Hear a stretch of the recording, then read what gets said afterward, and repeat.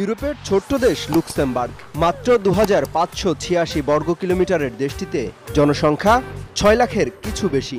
সাজানো পরিপাটি এই দেশটির সবচেয়ে বড় মাথা ব্যথা যানজট ও পরিবেশ দূষণ।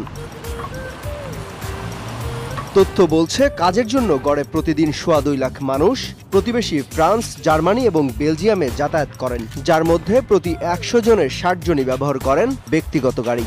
তাই যানজট নিরসনে ব্যক্তিগত গাড়ির ব্যবহার কমাতে বিনামূল্যে গণপরিবহন সেবা চালু করেছে দেশটি যা বিশ্বে প্রথম। উন্নয়নের পাশাপাশি পরিবেশ রক্ষায় এমন সিদ্ধান্ত নেওয়া হয়েছে কারণ ক্ষতিকর কার্বন ডাই অক্সাইডের চল্লিশ শতাংশই আসে পরিবহন থেকে। তাই পরিবেশ এবং যানজট নিরসনে বিশ্বের কাছে এমন উদ্যোগ নিশ্চিতভাবেই মডেল।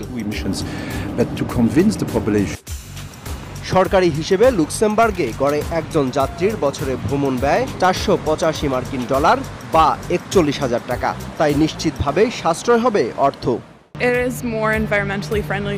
এখানকার গণপরিবহন যথেষ্ট পরিবেশ বান্ধব কারণ সবগুলো বাসই ইলেকট্রিক এমন সুবিধায় নিশ্চয় কেউ আর প্রতিদিন ব্যক্তিগত গাড়ি নিয়ে বের হবে না. আমি গাড়ি চালাতেই স্বাচ্ছন্দ্য বোধ করি। সুতরাং এর সাথে অভ্যস্ত হতে কিছুটা তো সময় লাগবে। তবে সরকারের এমন উদ্যোগ নিশ্চিতভাবেই প্রশংসনীয়। এতে সময় এবং অর্থ দুটোই বাঁচবে. এর আগে এস্তোনিয়ার রাজধানী তাল্লিনে বিনামূল্যে গণপরিবহন সুবিধা চালু করা হয়েছিল। যদিও যাত্রীদের অনীহার কারণে বেশি দিন তা টেকেনি।